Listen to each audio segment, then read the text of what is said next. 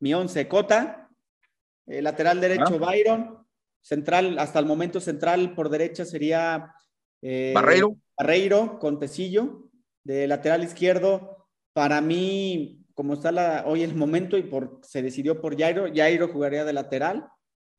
Ahí, ojo, llevan tres extranjeros ahí.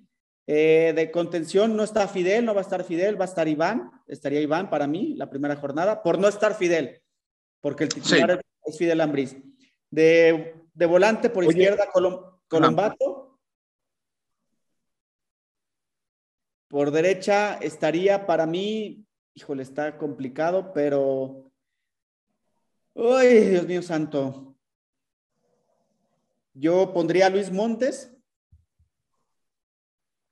Y arriba, Mena por derecha, de centro delantero Lucas, Di Llorio, y por izquierda estaría.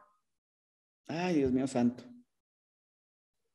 Perdón, corrijo. Lateral izquierdo Osvaldo y de, y de extremo por izquierda estaría Jairo Moreno. Ese sería mi once hasta el momento. Con lo que tiene, con lo que tiene Paivan disponible hacia al día de hoy. Si no me equivoco, a ver. Pues ahí vamos- está. Si no me equivoco, vamos a contar los extranjeros. Creo que sí, no, no me paso, no me pasa, no me pasaría lo mismo que a Miguel Herrera. Estaría, Que al piojo.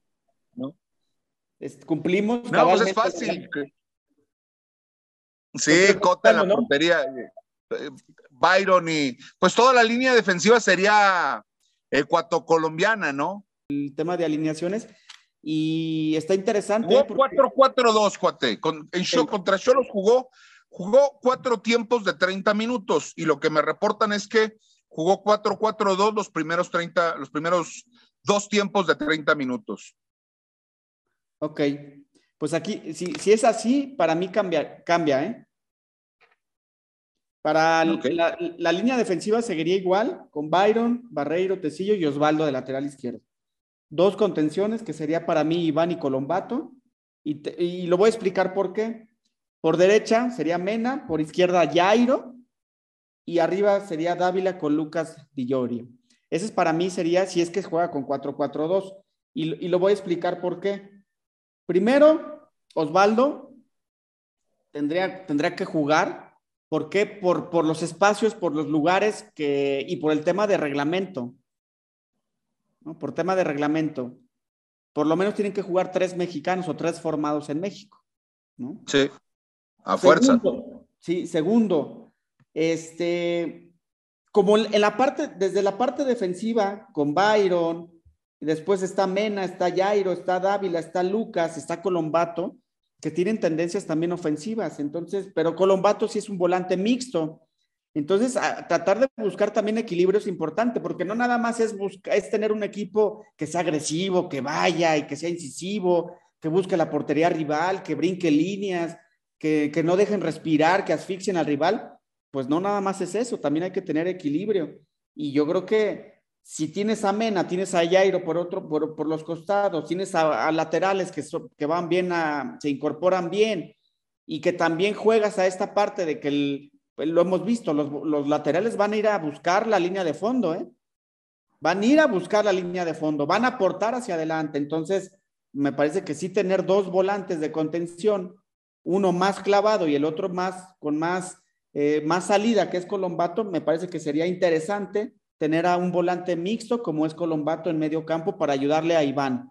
Ya vimos, y lo vimos el torneo pasado y lo hemos visto, de repente cuando se van los laterales y, y se, se va un lateral y se quedan tres, tres volantes y, de, y se queda un, perdón, se quedan tres defensores más un volante, de repente te llegan a complicar. Y luego cuando un equipo se parte, porque luego los regresos son importantes.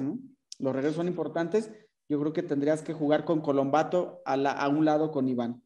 Y después, otro aspecto que no hemos platicado y que no, y que no hemos dicho, hay que recordar que Paiva lo ha mencionado y creo que para él es importante la talla en los jugadores.